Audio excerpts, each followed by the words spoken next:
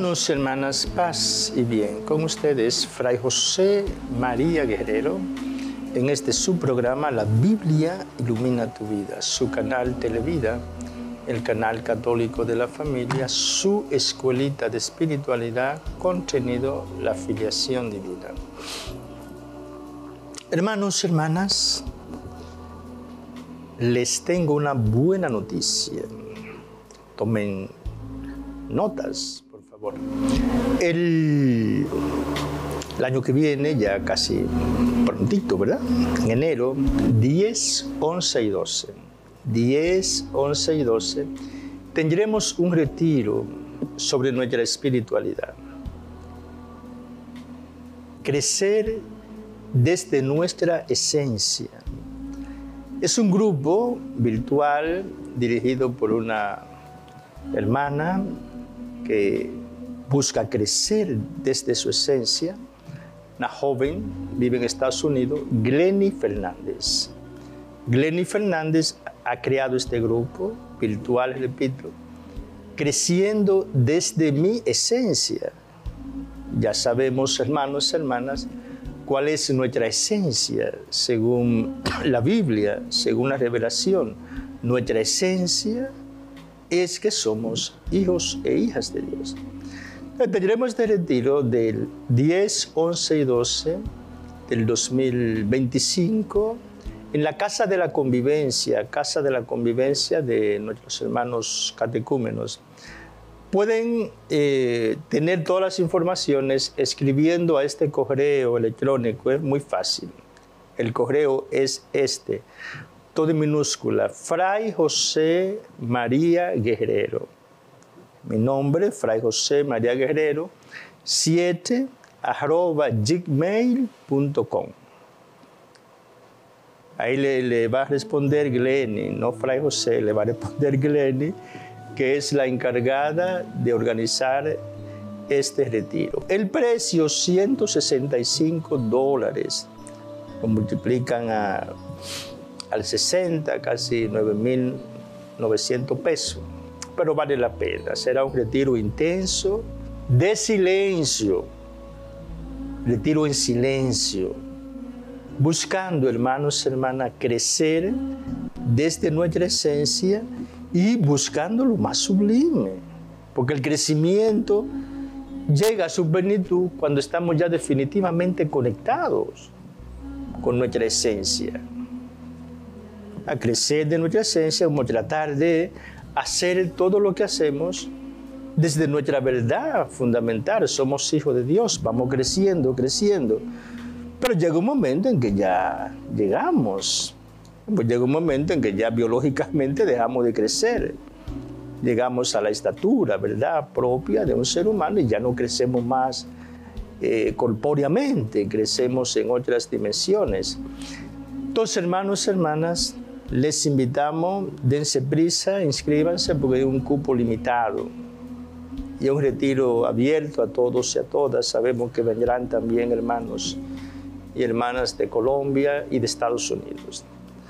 10, 11 y 12 enero 2025, un retiro en silencio cuyo tema es creciendo desde nuestra esencia, desde nuestra verdad, más profunda, nuestra verdad más profunda, nuestra verdad eterna, nuestra verdad que constituye nuestra identidad sobrenatural y la verdad que constituye nuestro yo soy trascendente es que somos hijos e hijas de Dios. Nuevamente, todas las informaciones pueden encontrarla en, escribiendo a este correo electrónico fray José María Guerrero, todo en minúscula, 7, arroba gmail.com.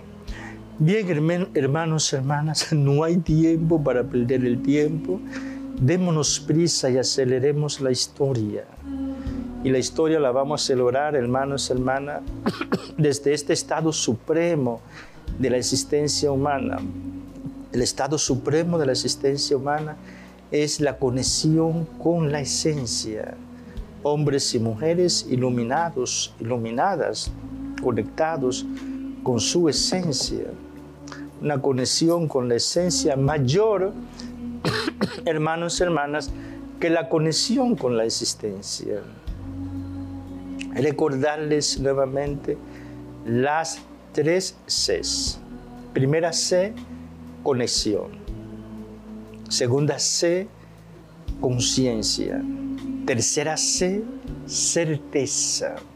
Conexión con mi esencia.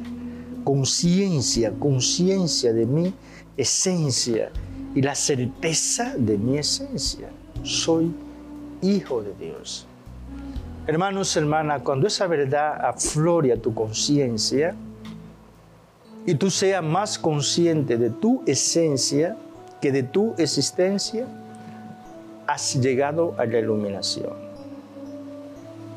Has llegado al estado de santidad. Has llegado al despertar. Serás un hombre despierto iluminado, en estado de santidad. Estado de santidad. Una mujer despierta, una mujer iluminada, una mujer en estado de santidad. algunos autores no, no les gusta mucho el estado de, por ejemplo, estado de perfección. Es algo que la iglesia en su reflexión teológica, en su magisterio sobre la vida religiosa, nos da ese término a nosotros. La vida religiosa es un estado de perfección. Pero no solamente, hermanos, hermanas, la vida religiosa, sino la vida cristiana en su máxima expresión. Estado de perfección, santidad, por ejemplo, donde mejor se explica esto es tomando el modelo, el paradigma de, María y Jesús. María, María vivió permanentemente en un estado de perfección. María nunca pecó. Jesús vivió permanentemente en un estado de perfección. Iba creciendo en gracia y en estatura y en sabiduría, pero en un estado de perfección. ¿Qué es el estado de perfección? ¿Es vivir permanentemente en la voluntad del Padre? ¿Se salió alguna vez Jesús de la voluntad de su Padre? ¿Se salió alguna vez María de la voluntad de del Padre Dios? No. Luego, la vida de perfección es gravitar permanentemente en la órbita de la voluntad de Dios. Entonces, el término es válido. Claro, la iglesia, ¿verdad? La iglesia es muy concienzuda en su magisterio. Pero he leído de algunos autores como que critican el estado de perfección aplicado a la vida religiosa, pues lo podemos ampliar y aplicarlo a la vida cristiana, a todo discípulo de Cristo. El imperativo más radical de, la Biblia es sean santos. ¿Qué es el santo? Gravitar permanentemente en la, en la voluntad del Padre. Y luego, hermanos hermanas, el estado de perfección podemos relacionarlo también con la conciencia. O sea, permanentemente en a nivel natural yo tengo la conciencia de quién yo soy. Un estado. Yo soy Fray José. Yo soy un ser humano. Yo no amanezco mañana. Yo soy un mono. Soy una culebra. Yo soy un cien pies. Nada de eso. Yo permanentemente, mientras estoy en un estado de conciencia alerta, sé que soy un ser humano. O sea, mi estado, mi conciencia de mi naturaleza es permanente. Ah, no cambia. Yo no amanezco, repito, soy un mono. Hoy yo soy un caballo. No. Entonces, mi naturaleza es un estado, es permanente. Por eso la filosofía siempre muy profunda. Ya Parménides decía como que el arjé de todo es la esencia, lo que no cambia. Lo que no cambia. Entonces mi conciencia de Fray José es permanente, eso no cambia. Mi conciencia de ser hombre es permanente. Yo la amanezco mañana, un día, yo soy una mujer. Yo soy, soy Entonces, eso es el estado. La conciencia crea un estado, sobre todo a nivel natural, un estado. Entonces, lo mismo, una vez que yo llego a la conciencia plena de mi esencia, eso es un estado. Y la conciencia, decimos siempre, nuestra escuelita determina la conducta. Y ya en el estado de conciencia filial no se peca. Vivimos realmente, hermanos, hermanas, en otra dimensión. Vivimos, por ejemplo, el asombro místico permanente de Juan. Mirad, qué amor nos ha tenido el Padre para llamarnos sus hijos y lo somos, el ser. Esto no es ficción literaria, esto no es una metáfora, esto es la realidad más honda, más profunda, más verdadera del ser humano, hijo de Dios. Entonces vivimos el asombro místico de Juan y el éxtasis de la alegría paulina. Estén siempre alegres. Y entonces explica, por ejemplo, yo soy, a nivel natural, yo sé siempre que soy Fray José. Siempre yo soy Fray José. Entonces la conciencia de que soy siempre hijo de Dios, eso provoca en mí una alegría permanente. El yo soy el que soy, esto realmente crea un asombro. El yo soy el que soy, el eterno viviente, la belleza, el amor, la paz, la alegría, la conciencia nosotros somos conscientes porque Dios es conciencia, hermanos y hermanas. El Todopoderoso, ese ser creador, Padre de Jesucristo nuestro Señor, expirador del Espíritu Santo juntamente con su Hijo, ese ser es mi papá. Entonces entendemos a Juan, ¿cómo no asombrarse de eso? Asombro místico permanente y un éxtasis de alegría. Entonces, hermanos hermanas, busquemos, busquemos, démonos prisa, aceleremos la historia. Y la historia se acelera, hermanos hermanas, a nivel bíblico, la historia se acelera desde la santidad. Y el mayor ejemplo, el máximo, es Cristo. Cristo aceleró la historia. En tres años cambia el curso de la historia. Primera de Corintios 15, 25, dice Pablo, porque él debe reinar hasta que ponga a todos sus enemigos bajo sus pies. O Jesús debe reinar hasta que ponga a todos sus enemigos bajo sus pies. Hermanos, hermanas, vamos a aprovechar este hasta para aplicarlo a un texto que leído superficialmente, como lo hacen nuestros hermanos evangélicos, puede comprometer la virginidad de María Santísima. Y es el texto de Mateo 1, 1,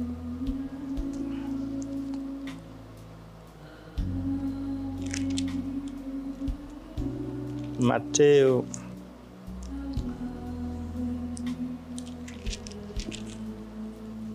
del nacimiento de Jesús.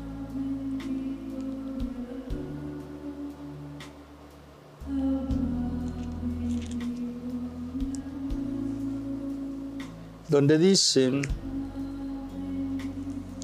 que José no conoció a su madre hasta que a, su a la madre del hijo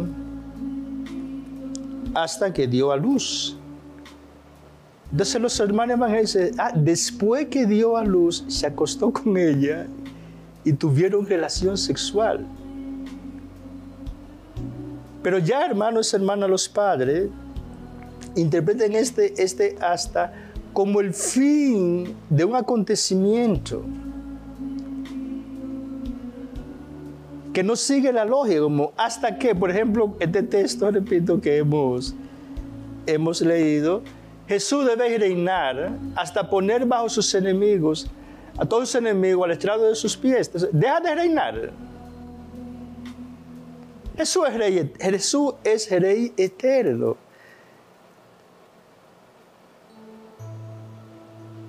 Entonces, Jesús reina, el hasta aquí significa el fin y al mismo tiempo la continuidad. Entonces cuando dice José no conoció a María hasta, quiere decir que nunca la conoció en el sentido sexual. Entonces este hasta no se entiende, ¿verdad? Como la continuidad de un acontecimiento, la lógica. También cuando David, por ejemplo, la esposa, la hija de Saúl, que se burló de David, y David la corrige, y dice el texto que no tuvo hijo hasta que murió. Pero después que murió tuvo hijo. No. No tuvo hijo hasta que murió. Entonces, si seguimos la lógica, pues tuvo hijos después que murió. No, el hasta, en este sentido, es el fin de un acontecimiento y la continuidad. Nunca tuvo hijo. Si no tuvo hijo en la muerte, como en la vida, ¿cómo lo va a tener después de la Nunca tuvo hijo. Entonces, este texto que hemos leído, Jesús reina hasta poner bajo todos sus enemigos bajo el estado de su pie, no quiere decir que Jesús deje de reinar, siempre reina, su reinado es eterno. José nunca conoció a María, nunca la conoció hasta que dio a luz. No quiere decir que después que dio a luz, José la conociera teniendo intimidad sexual con ella, no. Más bien este hasta se incluye en esta perspectiva. Nunca José conoció a María en el aspecto sexual por eso, hermanos, hermanas, hay que entender bien la palabra de Dios y no utilizarla así eh, para yo justificar algo que yo quiero, ¿verdad? Que, que sea así. Yo quiero que sea así, pero no es así.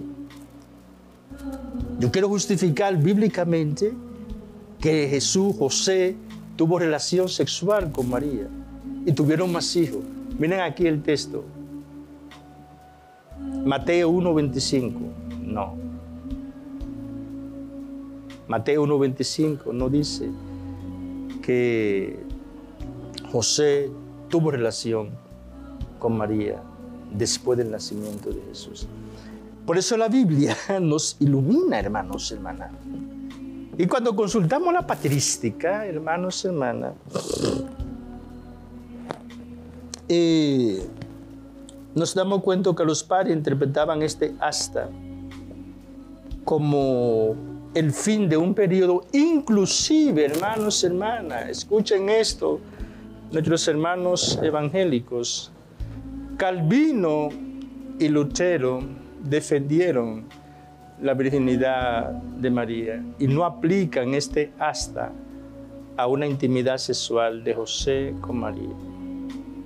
Lutero y Calvino. Bien, hermanos, hermanas, adoremos a Jesús. Él está con nosotros. Él es nuestro Salvador, nuestro Redentor, nuestro Rey. Que Él reine en tu vida, que Él reine en tu corazón, en tus cinco sentidos, en tu inteligencia, en tu voluntad, en tu libertad, en tu memoria, que Él reine en todo tu ser. Dios te salve María, llena eres de gracia, el Señor es contigo. Bendita eres entre todas las mujeres, bendito es el fruto de tu vientre Jesús. Santa María, Madre de Dios, ruega por nosotros pecadores, ahora y en la hora de nuestra muerte. Amén. Gloria al Padre y al Hijo y al Espíritu Santo. Como era en un principio, ahora y siempre, por los siglos de los siglos. Amén. Padre nuestro que estás en el cielo, santificado sea tu nombre. Venga a nosotros tu reino, hágase tu voluntad en la tierra como en el cielo. Danos hoy nuestro pan de cada día. Perdona nuestras ofensas, como también nosotros perdonamos a los que nos ofenden. No nos dejes caer en la tentación, líbranos del mal. Amén. María Santísima, Virgen de la Altagracia, protectora del pueblo dominicano, ruega por nosotros. María Santísima, Virgen de las Mercedes, patrona del pueblo dominicano, intercede por nosotros. María Santísima, embajadora del Espíritu Santo, visítanos y salúdanos, como saludaste a tu prima Santa Isabel. Para que se despierte en nosotros la conciencia filial. Oremos.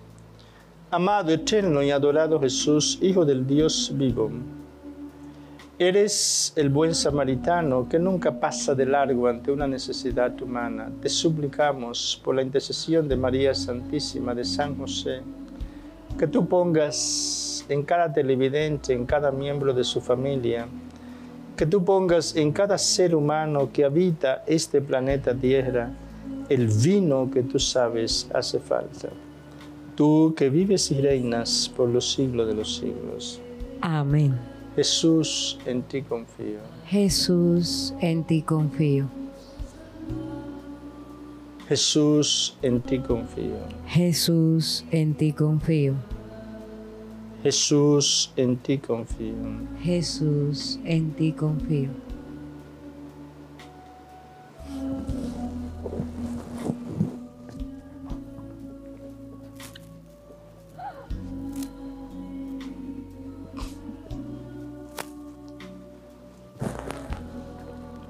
Amado, eterno y adorado Jesús, bendice el planeta Tierra.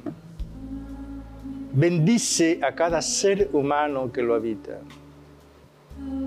Y acelera en nosotros la hora de la santidad, de la iluminación, del despertar, de la conexión con nuestra esencia.